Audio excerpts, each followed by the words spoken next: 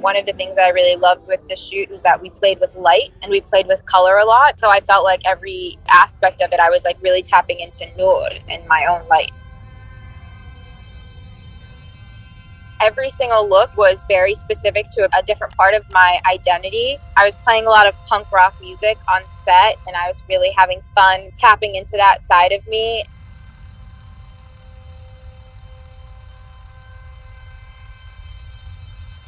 I would say understanding your own story and becoming friends with yourself and trusting yourself.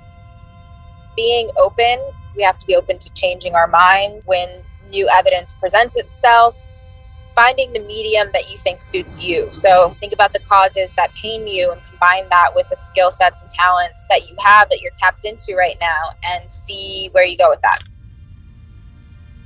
Pan Africanism means me being able to find yourself in not only roots that have grown beneath your feet, but being able to know that those roots are connected to so many people around us and being able to tie those stories back. That includes a lot of unlearning the colonialism that we've internalized and bonding together to create the future that we want to live in.